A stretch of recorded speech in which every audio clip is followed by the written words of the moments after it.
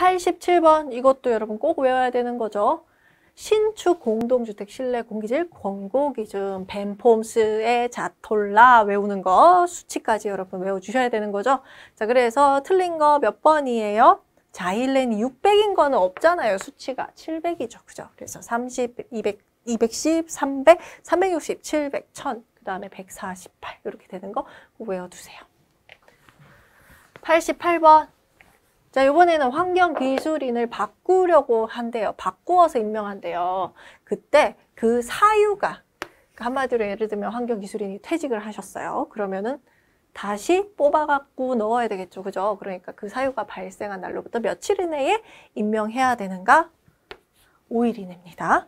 그래서 정답 3번. 89번 볼까요? 자, 이것도 거의 매번 나오는 거죠. 위 업무 보고 사항 중 자동차 연료 첨가제 제조 판매 또는 사용에 대한 규제 현황이에요. 여기 볼게요.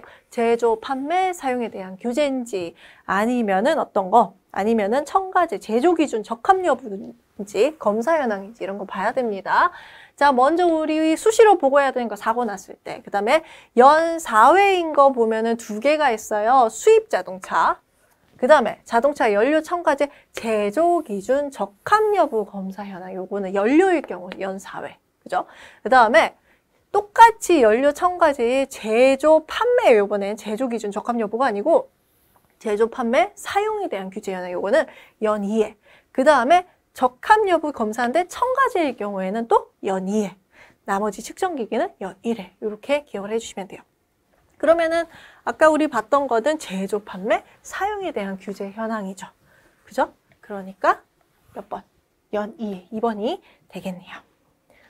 자, 그 다음 90번 문제 볼게요. 자가 측정 대상 방법에 관한 기준이다. 빈칸에 알맞은 것은 자, 자가 측정을 하는데 여가지, 시료 채취 기록지 보존 기간은 얼마? 6개월입니다. 자, 요거 정리 한번 해볼까요?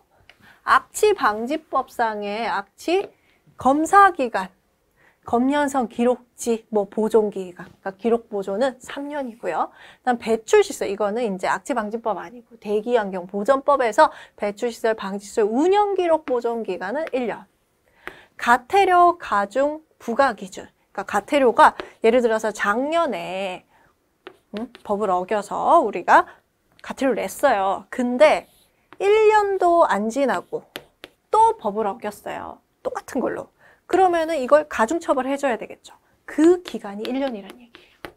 그래서 최근 1년간 같은 위반 행위 이것도 1년이라는 거 기억을 해주시고 일단 자가 측정할 때 시료 채취 기록지 보존 기간 6개월.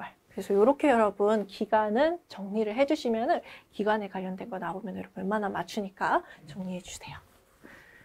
자, 91번 문제 볼게요. 이것도 중요하죠. 대기오염 경보 발령 시 단계별 조치 사항 우리 뭐가 있어요? 주의보 있고 경보 있고 중대경보 있어요. 주의보가 내리면은 실외 활동, 자동차 사용 자제를 요청을 하죠. 약하게. 그 다음에 경보가 되면요. 실외 활동을 제한을 요청을 합니다. 자제 요청이 아니고 제한을 요청한 거예요. 그 다음에 자동차 사용 제한. 그 다음에 사업장의 연료 사용량 감축 권고 이렇게 하는 게 경보. 중대 검거 가면은요 이게 다 금지가 돼요. 제한이 아니고 자제도 아니고 자제 제한 금지 이렇게 가죠. 자동차는요 자제 제한 통행 금지. 자동차는 자제 제한 통행 금지. 사업장은 감축에서 중대 경고 가면은 단축 명령을 내립니다. 그죠? 점점 세지고 있어요.